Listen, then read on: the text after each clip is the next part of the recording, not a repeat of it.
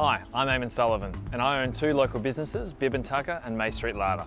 And we rely on you, the locals, to support local business. That's why I'm getting behind the Community News Shop Local campaign.